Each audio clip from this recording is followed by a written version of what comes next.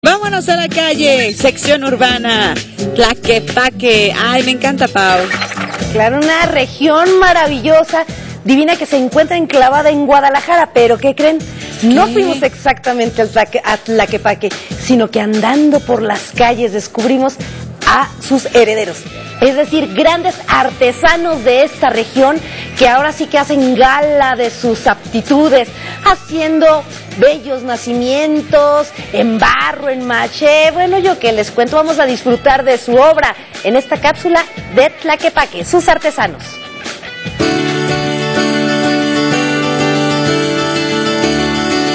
Lugar sobre lomas de tierra barrial. Es Tlaquepaque, lugar considerado como tierra de artesanos. Cientos de figuras de barro son exhibidas en la Ciudad de México por artesanos de Tlaquepaque, Jalisco, quienes de hace poco más de 100 años hacen un intenso viaje a la capital mexicana para mostrar las maravillas que hacen con sus propias manos. Vengo ya de la tercera generación de artesanos del municipio de Tlaquepaque, Jalisco.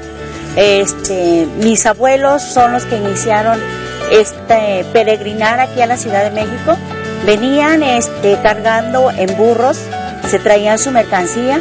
Me cuentan mis papás que llegaban, duraban 15 días de camino de, de venida hacia la Ciudad de México y 15 días de regreso, lo cual no había caminos todavía, o sea, muy, muy antiguo todo este, toda esta tradición.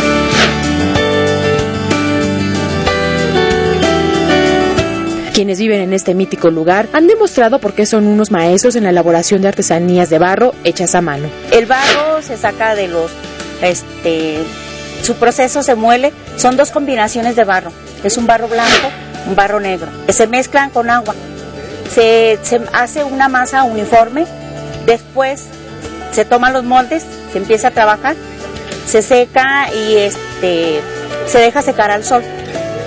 Ya después de secado se pasa al, al horno, se quema a una temperatura más o menos de 900 grados.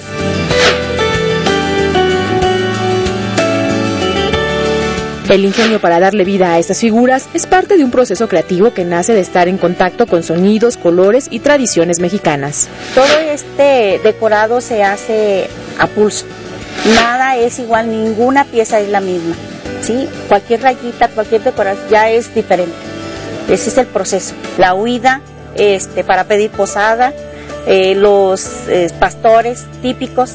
Se- nosotros aquí les nombramos este, los tipos, ¿sí? que son, son personas que venden este, ah, frijoles, habas, flores, todo.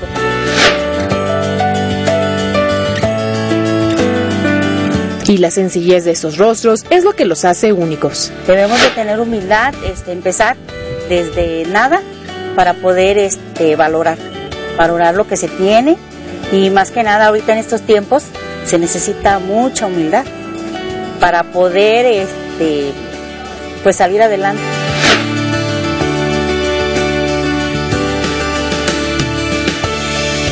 Cada artesano tiene su estilo. Hay quienes se inspiran en el folclore de nuestro país y adornan las figuras hasta con el más mínimo detalle, pero hay otros que prefieren los rasgos europeos o con acabados más finos. El material que nosotros trabajamos es el yeso cerámico. Los tamaños son diferentes. El tamaño más grande que tenemos es como el que está aquí atrás. Y los ojos son hechos de vidrio y la pestaña es natural. Los moldes son de látex con fibra de vidrio y aproximadamente tendremos unos 500 moldes diferentes.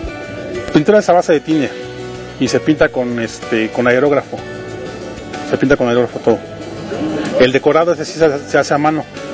Es decir, el- los detalles que llevan los filos de oro, eso se hace a mano. Cada figura es única, tiene una historia, un estado de ánimo y existen todos tipos de accesorios para que su nacimiento quede perfecto, desde los pesebres con sus costales de semillas hasta las figuras más sofisticadas muy al estilo egipcio.